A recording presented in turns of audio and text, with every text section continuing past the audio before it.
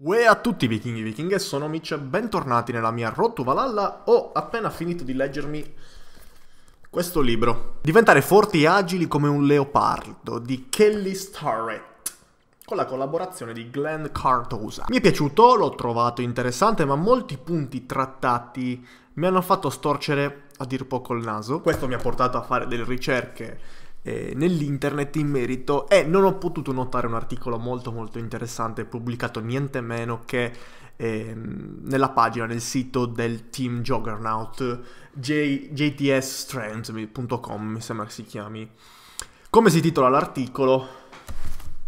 Il leopardo contro il mondo. Ma partiamo dall'inizio Kelly Starrett, questo signore qui, dottor Kelly Starrett, ha scritto essenzialmente questo libro che è diventato un best seller immediatamente. Grazie al suo libro principalmente ha ottenuto una fama a livello mondiale, è diventato un monumento, un personaggio da conoscere e studiare nel mondo del fitness.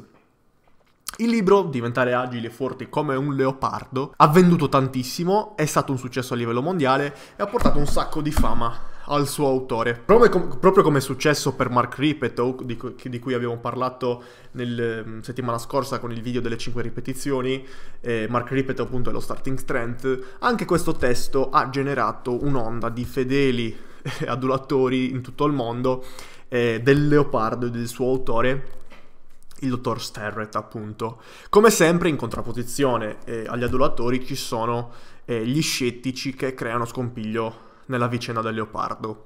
Il libro del leopardo è un testo che dopo ehm, una presentazione di basi eh, perché riguardano la stabilizzazione, la struttura della colonna vertebrale, del bacino, delle spalle e tutte le articolazioni adiacenti, presenta una guida passo passo per risolvere appunto i problemi eh, di sindromi dolorose, prevenire gli infortuni e ottimizzare la, la prestazione sportiva.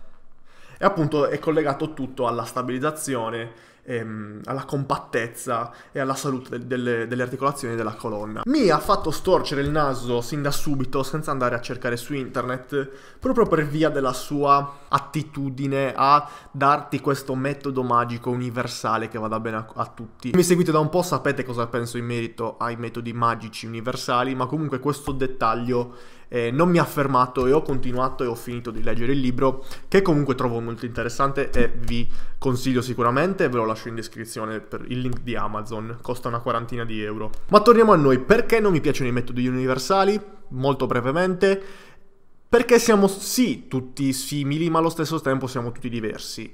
Ne abbiamo parlato tanto eh, in questo canale in merito a questo argomento. Il nostro corpo sì, all'inizio della nostra esistenza è uguale in tutti, ma ehm, come sappiamo viene forgiato da diversi fattori in base alla vita che viviamo e a come la viviamo. Tutte variabili che è impossibile tenere in considerazione in un, in un testo o comunque da racchiudere in un metodo universale. Torniamo al libro. Nel primo capitolo Star, Starnet parla di stabilizzazione e organizzazione della linea mediana, la colonna vertebrale. Nel secondo parla della regola delle articolazioni, dove praticamente parla praticamente del fatto che eh, l'articolazione unica dovrebbe essere la nostra colonna vertebrale e tutti i movimenti dovrebbero avvenire con la colonna neutra eh, basandosi appunto sulla flesso-estensione delle anche e delle spalle invece che sulla torsione, sulla flessione e estensione della, della colonna delle vertebre. E poi arriva il terzo capitolo leggi della forza di torsione. E qui ho iniziato ad avere più attenzione verso quello che stavo leggendo, più scetticismo verso quello che stavo leggendo e adesso vi spiego perché. Qui Starrett parla sempre di stabilizzazione, riferendosi però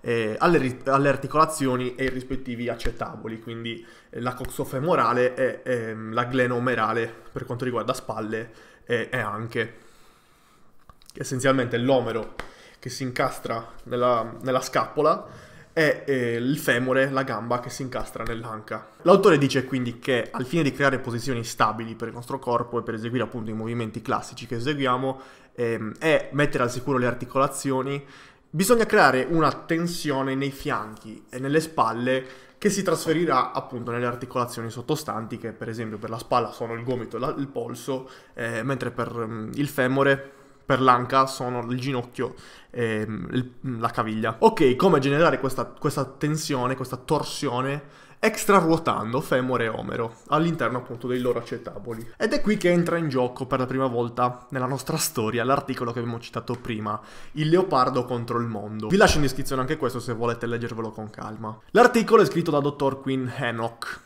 che è un fisioterapista, se non sbaglio, che comunque fa parte del team del Juggernaut, che abbiamo imparato a conoscere grazie a Chad Wesley Smith, quando appunto abbiamo parlato del suo metodo eh, Juggernaut. In questo articolo il dottor Hancock si sofferma in particolare sulle indicazioni che Starret dà in merito all'esecuzione dello squat, appunto parlando di questa torsione. Ruotare in femore, come indica Starret, non può che portare ad una estremizzazione dell'indicazione butta fuori le ginocchia risultando in una tecnica di squat piuttosto singolare e di dubbia sicurezza.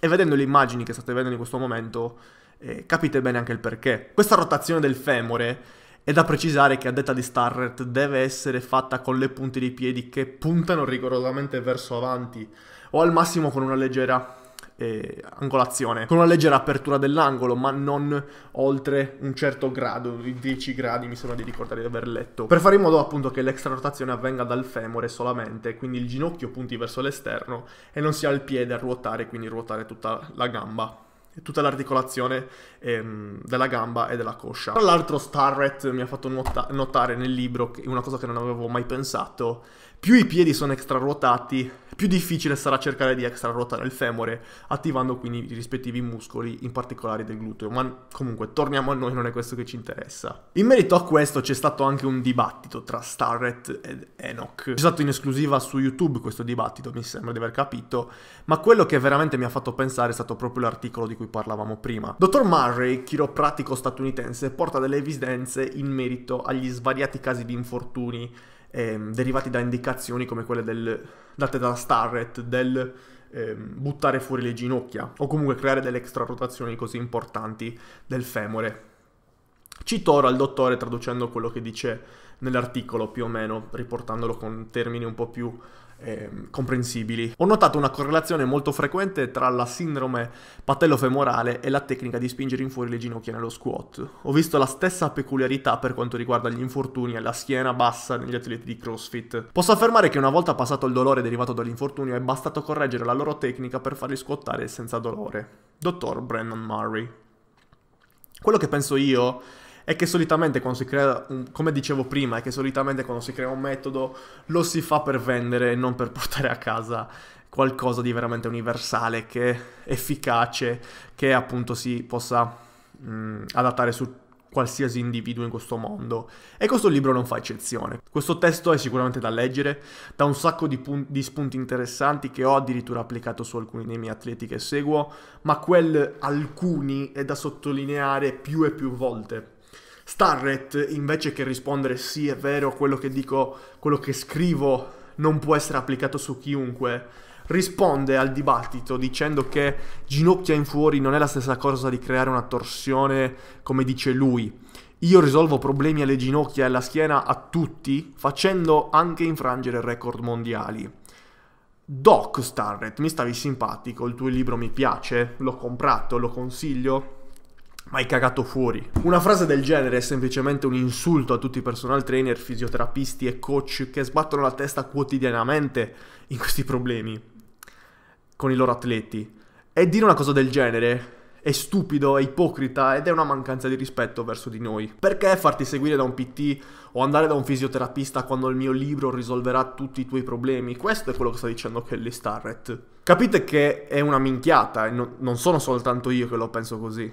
Non voglio attaccare in alcun modo il libro o il suo autore, voglio solo far aprire gli occhi, trasmettere il messaggio che la generalizzazione, specialmente quando si tratta di salute e benessere fisico della persona, psicofisico della persona, è una minchiata colossale. Leggete il libro, lo trovate in descrizione, ripeto è figo ed ha un sacco di spunti interessanti eh, ma comunque tenete conto anche di quello che, di cui vi parlo in questo video. Bene vichinghi vichinghe, questo era il video, se il video vi è piaciuto vi invito a mi piacere il video come se non ci fosse un domani, commentate qui sotto, fatemi sapere cosa ne pensate, iscrivetevi al canale se non siete ancora iscritti, attivate la campanellina delle notifiche se non l'avete ancora attivata. Noi ci vediamo assolutamente in un prossimo video, vichinghi vichinghe, io vi ringrazio per la visione e ciao grazie.